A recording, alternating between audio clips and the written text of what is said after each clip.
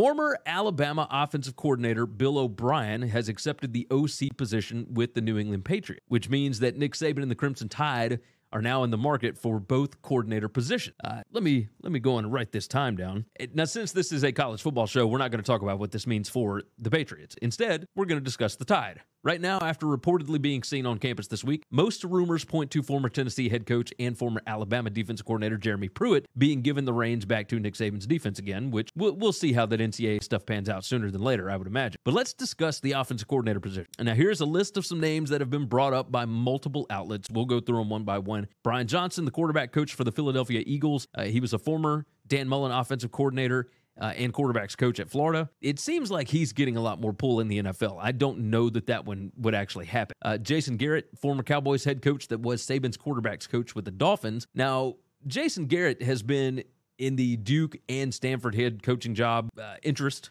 right? So he he's definitely interested in coaching in college football, and Saban has definitely spoken highly of him in the past. That's one maybe to keep an eye on uh, because we all know what getting an OC position or a DC position with Alabama typically means. It, it, means that you are going to move on ahead to a head coaching spot. Uh, Jason Garrett working inside a Saban system for a couple of years, uh, that is likely to uh, to be the next step for him. Freddie Kitchen, uh, the former Alabama quarterback, currently a senior analyst at South Carolina. He was the former Cleveland Browns head coach. He's also had stops with the Cardinals, the Cowboys, uh, Mississippi State, North Texas. Uh, here's the big one. He was a GA on Saban's staff at LSU. Now, Freddie Kitchens, of course, again, former Alabama quarterback. That one could make some sense. Uh, we'll we'll see exactly what ends up playing out there.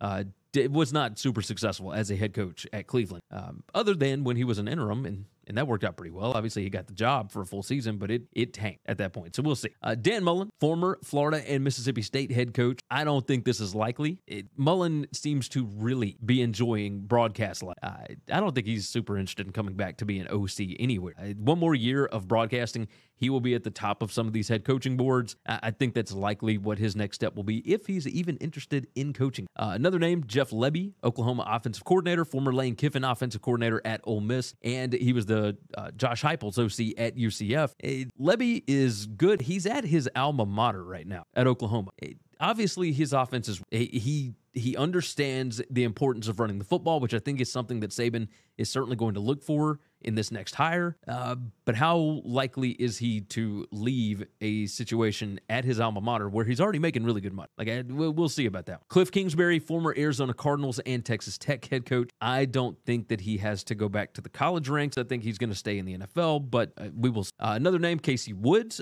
SMU offense coordinator, former Gus Malzahn director of player personnel at Auburn. He was a former tight ends coach and recruiting coordinator at UAB and at Missouri. So he understands the landscape of you know the state of Alabama.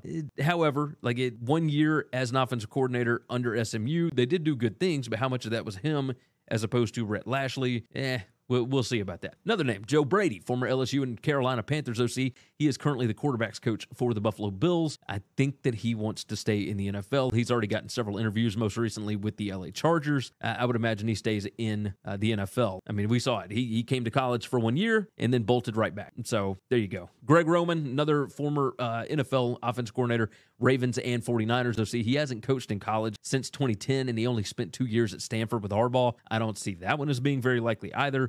And Byron Leftwich has been named as well, or has been listed as one of these potential candidates. Uh, former Tampa Bay Bucks OC has never coached in college football. Uh, did his best work under Bruce Arians. As soon as Arians left, the offense tanked. Now, part of that wasn't necessarily his fault. Tom Brady is uh, aging, and of course, the roster talent was injured uh, a lot of the year at Tampa Bay this year. They did still win their division, so we'll see. I can't even begin to make an educated guess on who is actually going to get this Alabama OC job. Like, how many NFL guys really want to come back to the college game? Uh, because it's a completely different world now. And on top of that, which of these would be a good option if and when Saban decides to hang it up? Because that's something else that I would imagine Saban is starting to look at along with the school. You know, somebody like Freddie Kitchen would love to get this job, but there are definitely some bigger names on the list. I, I would expect news within the next week on this one, uh, but not until then.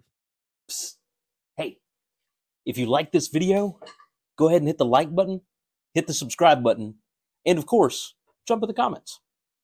Thanks for listening to Winning Cures Everything. Make sure and subscribe on YouTube or your favorite podcast app, and make sure to leave a nice five star review. You can follow Gary on Twitter at GaryWCE, and the show is at Winning Cures. Be sure to check out the merch in our web store and share the show.